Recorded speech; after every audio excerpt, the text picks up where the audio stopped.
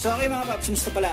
Ngayong araw pala, maglilinis tayo ng panggilid or CVT ng Yamaha Mio i125. Okay? Simulan na natin to mga paps. So okay mga paps, ang gagawin natin ngayon, ito lilinisin natin yung panggilid ng motor natin, yung CVT ng motor natin. Itong motor na to, Yamaha Mio. Isang taon at mahigit na tong hindi nalilinis yan. Okay? So ngayon, ang gagawin natin, babaklasin natin lahat yan at lilinisin natin yung panggilid natin. So okay mga paps, una natin tatanggalin dyan yung mga tornilyo niyan, okay? Ito sa pinaka air filter ano niya, parang air filter housing niya. So gagawin natin, tatanggalin yung tornilyo niyan, yan, tapos meron pa sa ilalim, okay? Tuyuntiin natin yung mga paps.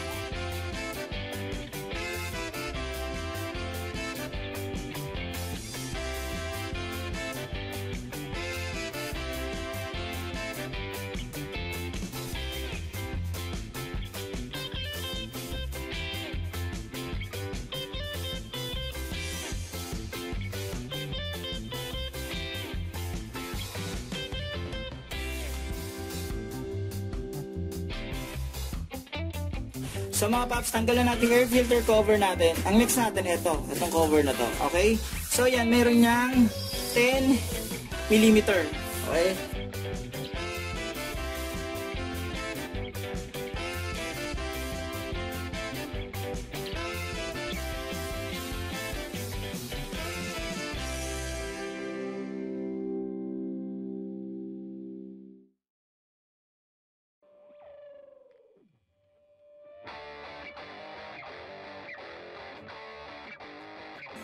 Grabe.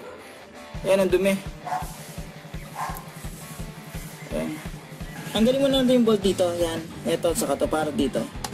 Okay? So, gamit kayo dyan ng 8 mm.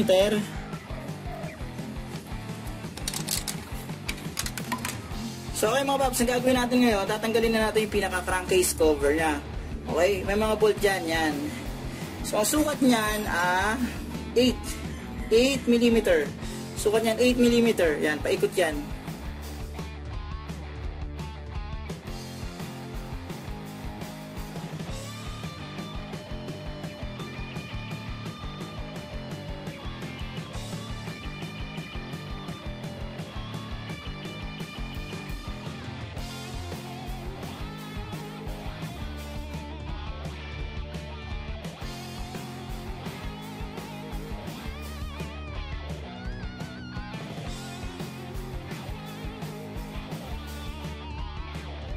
So ayun mga paps, tanggal na natin yung bolt niyan. Ngayon, matatanggal na natin yung pinaka crankcase cover niya.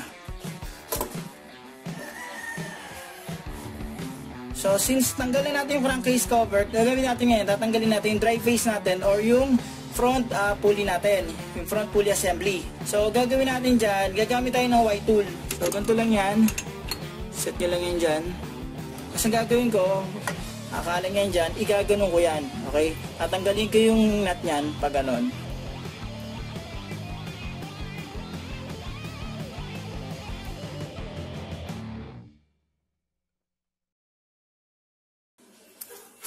So, ayan.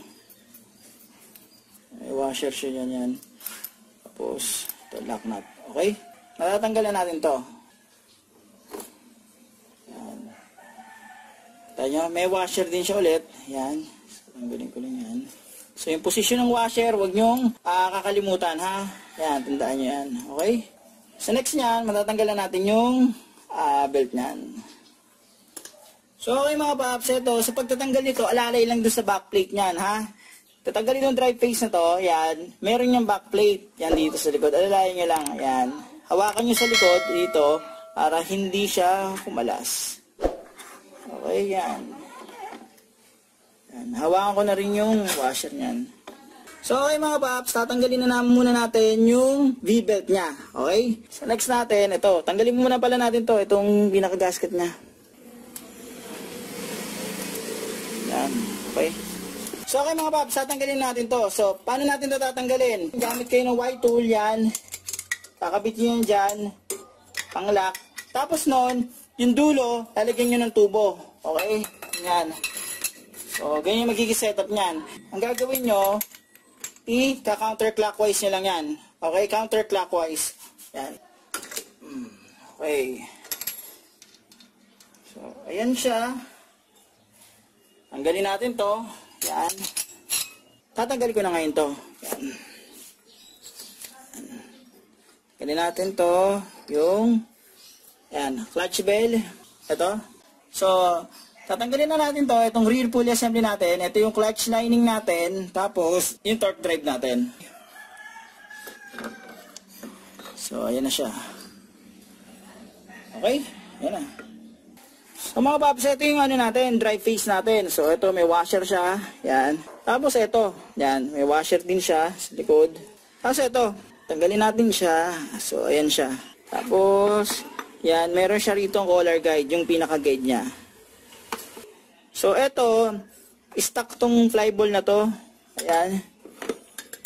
So ayan, meron ng mga kanto, ayan oh, tulad yan kanto. So ayan siya. Yan. So, dry face natin, nakikita nyo, yan. Kasi ito, yan, yung, check nyo rin yung slider natin.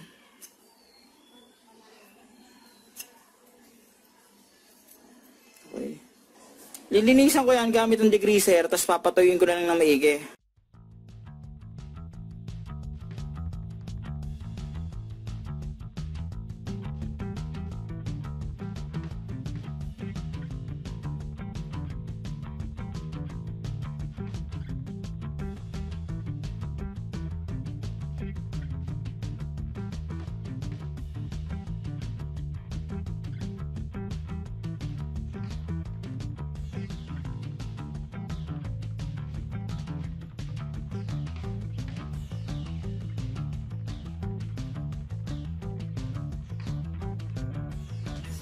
Amay natin to. Ito yung sa lock sa clutch bell natin, yan. Ito yung ano natin, yung clutch bell natin, okay? Gagawin ko lang dito, i-degreaser ko, tapos pupunasan ko. Dito, maganda patuyuin nyo maigi okay? Maganda meron kayong blower para kahit paano, madaling matuyo yung mga binabasaan nyo.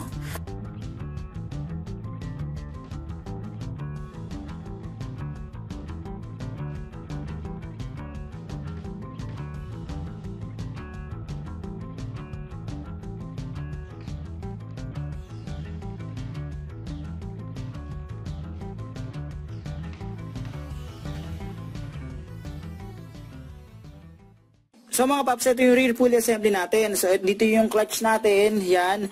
Andito yung clutch lining natin, andito yung torque drive natin. Hindi ko muna siya papaklasin, okay? Sa susunod, gagawa na lang ako ng separate video rito para kung paano siya babaklasin at saka i-regrease. Ngayon, gagawin ko lang dito, linis-linis lang muna. So ito, gagawin nyo, brush-brushin nyo yan.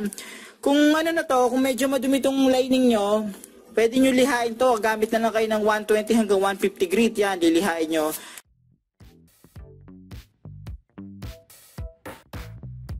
Punasan ko lang yan. So, ayan na siya mga paps. Okay. So, okay mga paps. Ah, uh, eto, inisin na rin natin to. Yung pinaka-gasket niya.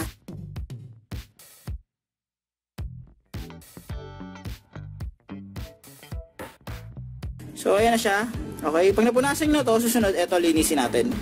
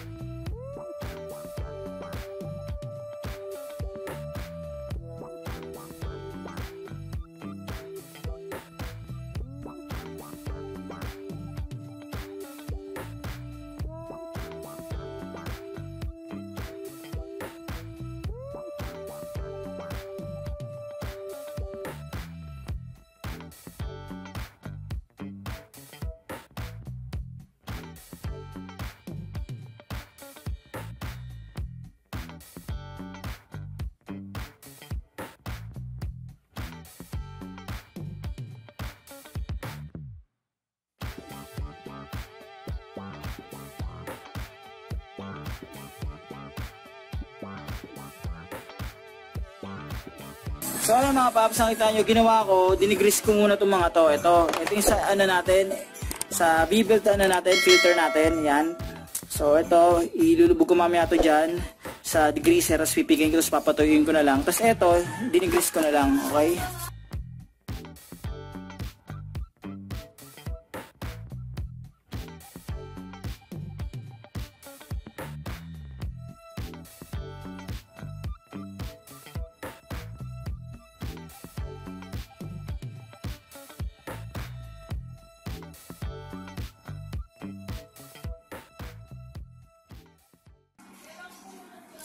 Tapos gagawin ko dito, papatuyuin ko lang to sa araw, okay?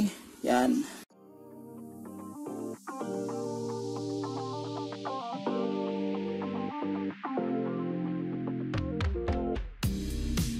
So okay mga paps, ang susunod natin, ito, ah, lilinisin na natin yan. Okay? I-degrease na natin yung side na to.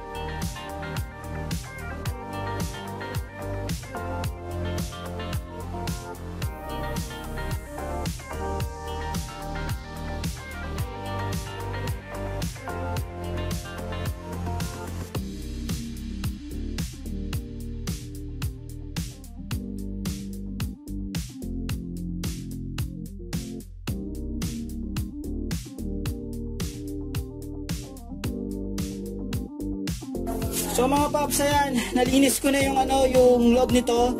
Ngayon gagawin ko, pupunasan ko na lang to. Ngayon since wala tayong air compressor, basahan na lang gagamitin natin.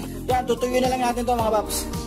So okay, bago natin lagay yung ano dito, yung clutch natin, yung rear pulley natin, gagawin natin, lalagyan muna natin ng grasa, okay? So natin ng grasa dito.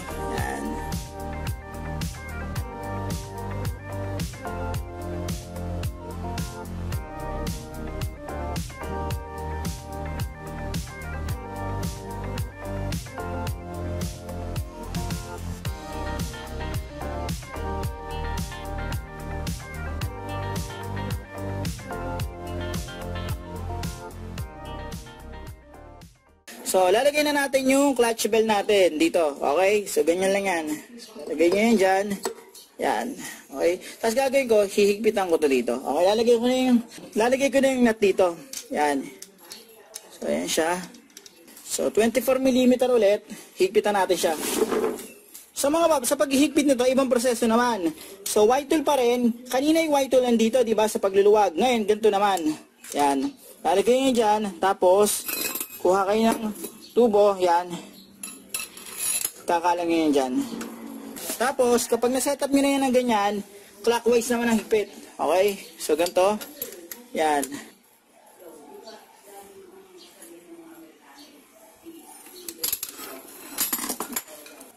So mga paps, ito yung dry face natin. Okay, yung gagawin natin, labalik na natin yung mga flyball dyan. So, okay na yan. Nakabit na natin yung mga bola. So, ito. Kinabit ko na rin yung ano niya, yung slider niya rito. Yan, dito sa backplate. Okay, tapos, lalagay natin siya ng ganyan. So, ayan na siya. Okay. So, okay, bago natin ilagay yung dry face dito, lagyan muna natin ng grasa. Yan. So, yan. Yan lang yan. Lagyan natin ng grasa yan dyan. Okay. Bago natin ilagay ito, yan, ilagay muna natin dito yung washer. Okay, yung washer medyo makapal. Kasi may isang washer dyan na manipis, hindi to. Okay, sa kabila to. So, ilalagay muna natin yung washer niya dito. Yan. Tapos, saka natin lalagay itong dry face. Okay. So, yan. Okay. So, kapag nalagay na natin yan, etong guide, lalagay na natin yan dyan. Okay? So next natin, ito, itong ano, itong B-belt. Itong B-belt, tingnan nyo araw yan. Okay, papaalala ko, i-check nyo kung may mga crack yan. Ganito, sa pag ganito pag-check niyan yan. Okay, yan. Ito, so far okay naman to. So yan, tingnan nyo, may araw yan. Yan yung papunta sa drive face. Tapos ito, sa kabila, yung sa torque drive natin. Okay? So ganito lang yan. Yan, pinigyan ko na na para pumasok kahit paano. Okay? Babalik na natin itong kabilang side ng dry face. So, bago natin gawin yan, lagay muna natin yung washer. Yan, lagay natin yung washer dyan. Tapos, ito, lalagay natin to dito. So, pagkalagay natin yan, gagawin natin, lalagay ko na yung nut dito. So, ganito yan mga paps. Meron isang malaking washer yan, lalagay mo yun dito, yan. Tapos na, may isa pang washer dito, yan. Tapos, saka natin lalagay yung lock nut. Yan, ito. So, ganun lang yan. So okay mga paps, hihigpit na ko na ngayon to. Gagawin ko, white tool gagamitin natin.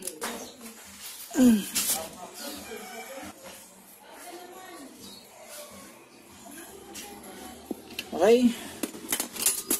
So ayan, higpit na ko na siya. Tamang higpit lang mga paps. So gagawin natin, i-testing na natin siya. Okay?